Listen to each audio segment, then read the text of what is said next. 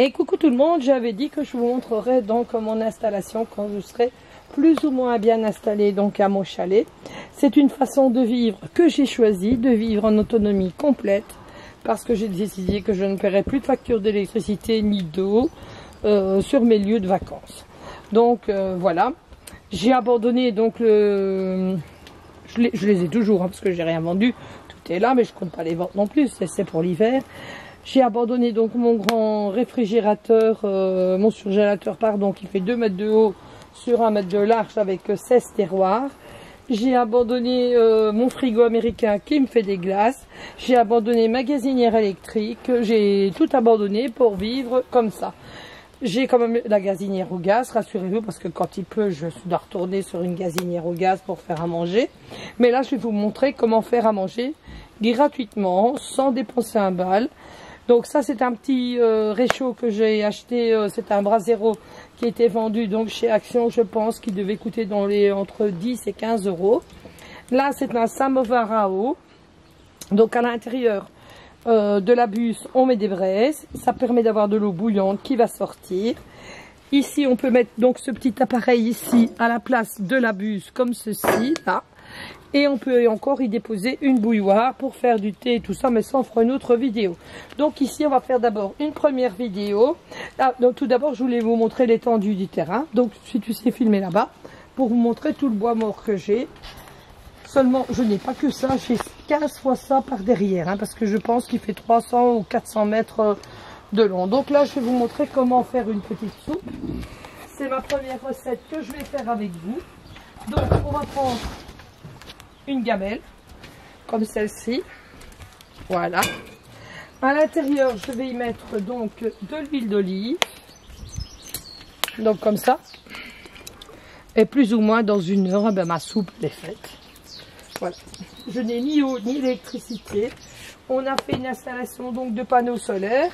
Donc avec les panneaux solaires, j'ai quand même un congélateur, j'ai un frigo, j'ai mon internet, j'ai ma TV, euh, j'ai mon éclairage et tout ça se recharge grâce au panneau solaire. Donc pour l'eau, c'est alimenté avec de l'eau bien sûr de pluie que l'on récupère dans des grosses citernes. J'ai un WC quand même euh, la chasse. Si jamais il n'y en a plus, on a prévu un WC euh, toilette sèche. Ici, on va installer, on va installer donc une douche solaire par après. Euh, qu'est-ce que j'ai encore dire et pour l'eau potable, ben, je vais à la source parce que j'ai une source ici tout près. Donc ici, j'ai mis chauffer euh, donc, euh, mon huile. À l'intérieur, je vais y déposer donc mes oignons. Oups, il y en a qui sont tombés parce que j'ai pas envie qu'on me voit. Voilà. Je vais vous montrer quand même que j'ai le congélateur. Donc ça c'est un c'est du céleri avec du poireau qui était congelé je vais mettre à l'intérieur. On va se faire une petite soupe au potiron. Et puis je vous montrerai comment la garder pendant 10 jours en la stérilisant donc dans une prochaine vidéo. Hein.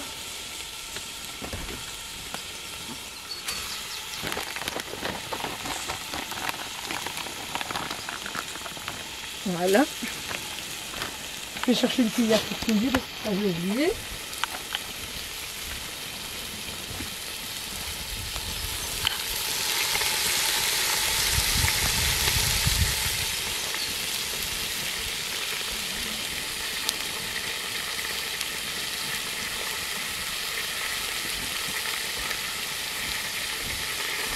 Donc ici, je vais faire roussir mes légumes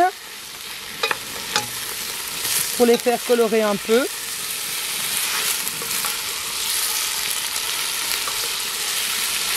Tu veux, tu peux filmer dans la casserole. Hein.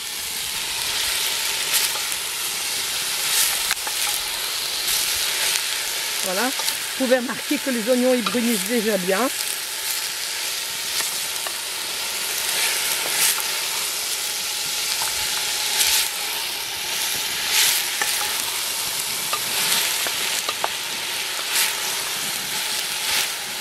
Franchement, cette soupe, elle est super bonne parce qu'elle a un petit goût de fumée. Le fumé, en fait, va rentrer à l'intérieur de la casserole et ça va parfumer vos saveurs. Franchement, c'est un goût euh, bah voilà, d'une soupe qu'on ne connaît pas, euh, traditionnellement euh, sur un feu normal, quoi. C'est super bon. Donc là, je vais l'assaisonner. Je vais lui mettre donc du sel. Donc je prends mon sel, je mets dans ma main. Moi, je fais toujours comme ça, comme ça, je vois ce que je mets dedans. Encore un peu. Voilà. Je vais lui mettre un peu de poivre également. Comme ceci.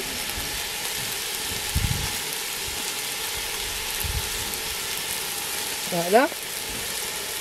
Il faut revenir une fois touillé. Mélanger. Ouais, Pour nos amis français.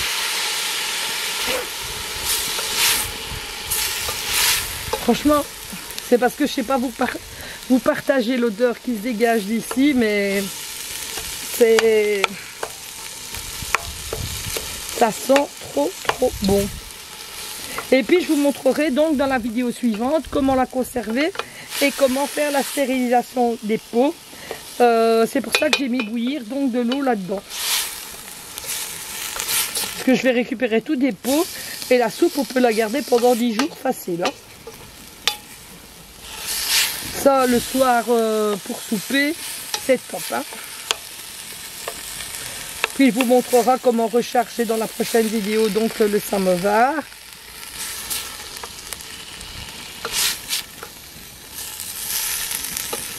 Ça, je l'ai acheté, donc, sur, euh, sur Internet, le samovar, là. Là. Bon, je sais, ma table, elle est pas top. C'est une vieille table en fer, mais je n'avais que ça. Il faudra la recouvrir de céramique. Mais là, franchement, on s'aménage. Donc, euh, bah, voilà, c'est comme ça, c'est comme ça.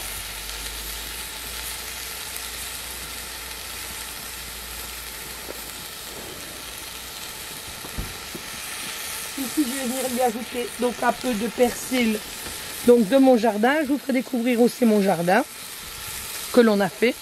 Il n'est pas bien, bien, bien, bien grand. On a quand même des aromates, on a des fraises, nous avons des salades, des haricots. Là, j'ai mis des pois. On a un peu de tout. Hein.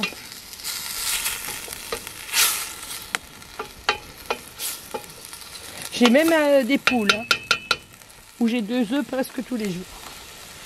Donc là, on va ajouter le butternut. Normalement, je ne l'aurais pas ajouté maintenant si on n'était pas en vidéo, mais seulement je vais pas faire durer la vidéo plus de 30 minutes parce que ça va pas le faire. Donc là, j'ajoute mon butternut. Voilà. Je vais faire un peu aussi.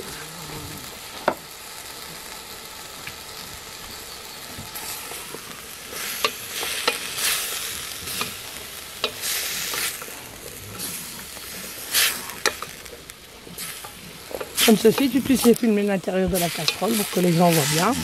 Ils vont. Quand ça ensemble les appareils, c'est ça. Maintenant, je vais ajouter donc mes patates.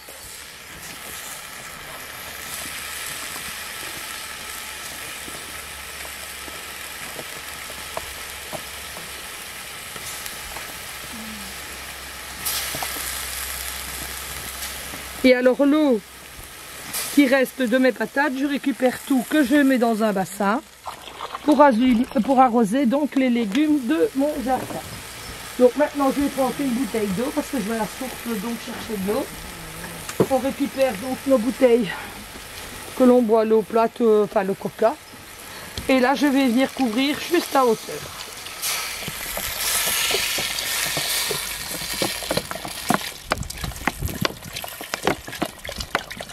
Pour recouvrir tous les légumes. Voilà, j'ai mis un litre et demi d'eau. Et là, je vais, je vais venir couvrir ma soupe avec un couvercle de la casserole. Voilà. Et c'est parti comme ça pour une demi-heure, trois quarts d'heure. De temps en temps, je viendrai mélanger.